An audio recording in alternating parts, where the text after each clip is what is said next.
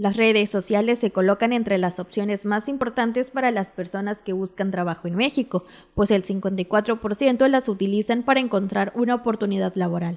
Así lo reveló el estudio de búsqueda de empleo en línea de la Asociación de Internet MX.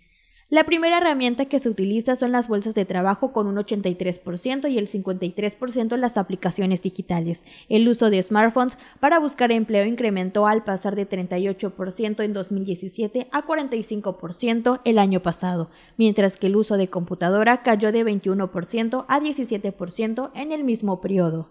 La asociación también reveló que el 55% de las personas que buscan una fuente de empleo ya se encuentran laborando y el 45% aún no.